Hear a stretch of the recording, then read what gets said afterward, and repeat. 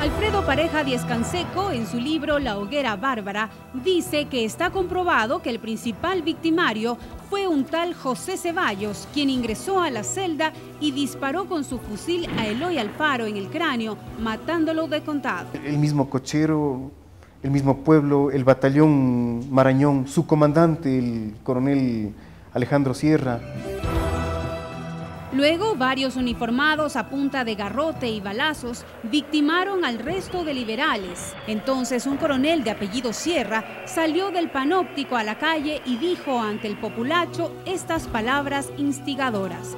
Yo he cumplido con mi deber, ahora le toca al pueblo. La iglesia, las prostitutas que, lo arrastraron, los ladrones que lo arrastraron, llegaron hasta el ejido.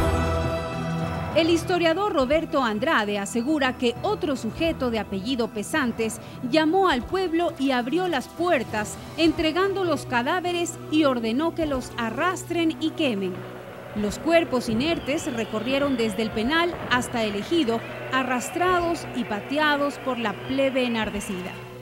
Mientras lo quemaban, las bandas de los cuarteles de Quito sonaban su música, hacían sonar su música como una especie de celebración.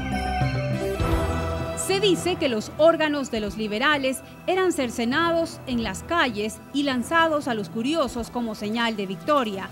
No saciada la sed de venganza, a la altura de la pila del Parque del Ejido, fueron incinerados los cuerpos de los mártires de la Revolución Liberal. Uno de ellos los sacó el, hueso occipital de, la cabeza y tomó chicha con eso, con el mismo hueso de Alfaro su barba y sus testículos eran exhibidos en las bayonetas como un gran trofeo.